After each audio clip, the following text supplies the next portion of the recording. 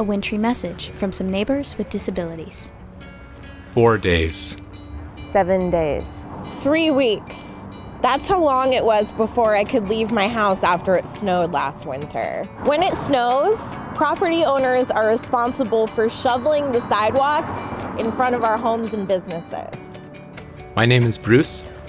I live in Columbia City, and I'm deafblind.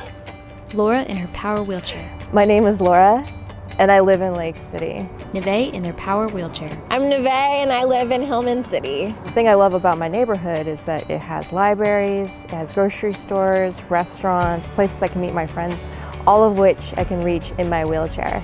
This all changed when the snowstorm happened last year and I was trapped in my home for a whole week. When the snow builds up, my cane has no orientation. I can't feel the ground. Everyone uses sidewalks to get around but for people with disabilities, they're crucial. If they aren't cleared, we're stuck. If you got caught off guard without a shovel or salt last year, buy your supplies now. Talk to your neighbors to come up with a plan to ensure that all the sidewalks in front of your block stay clear. Find people in your neighborhood who might need help.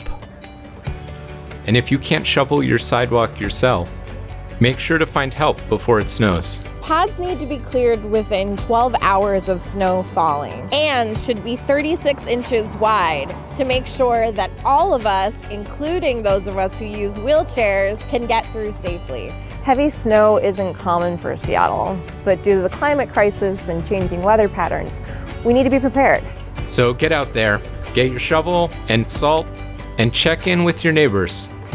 We all rely on sidewalks to get where we need to go. And our communities rely on all of us to do our part. For more information, go to takewinterbystorm.org. Produced by Rooted in Rights and Seattle Department of Transportation.